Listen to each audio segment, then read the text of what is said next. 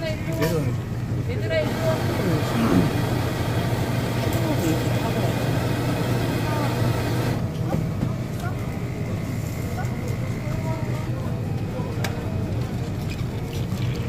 가는 소리.